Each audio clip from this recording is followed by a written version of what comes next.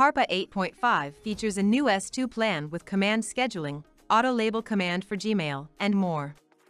Hit the auto-label button on your Gmail account and HARPA will sort your emails.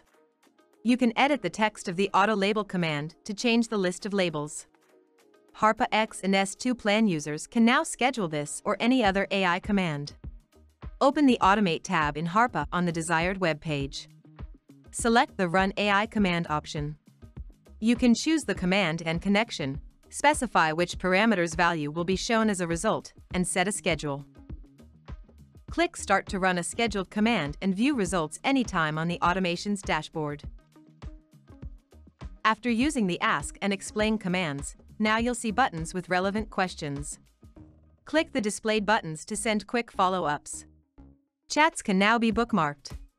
Pin the chat by clicking on the emoji icon to the left of it.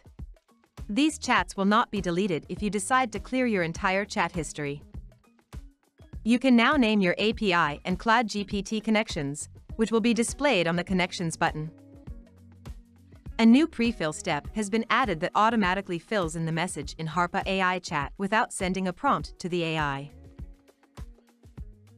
The JS step has been improved and now has a timeout control option, useful for complex scenarios. Automate your daily web tasks with HARPA AI. Hit like and subscribe for more guides.